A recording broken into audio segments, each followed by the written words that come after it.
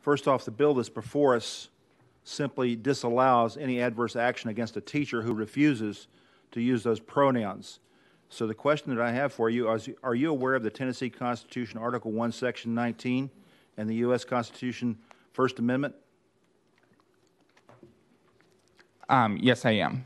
I believe those are entitled freedom of speech, are they not?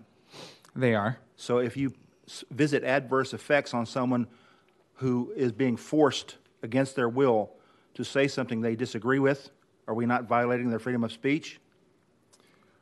I would Right, also say that, uh, you know, the important aspect, uh, as, as I understand it, related to freedom of speech is that we're also, and especially as educators, obligated not to do harm to our students. And uh, it's a part of our ethical duty as educators. And so this bill would allow educators to harm students um, and give them a free pass to do so.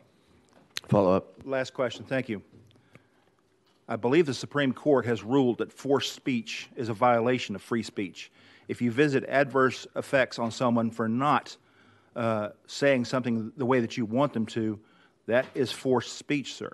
So, therefore, protecting teachers who do not want to do this is not anything that I see as wrong. In fact, it's affirming First Amendment rights and Article uh, 1, Section 19 of the Tennessee Constitution, freedom of speech rights.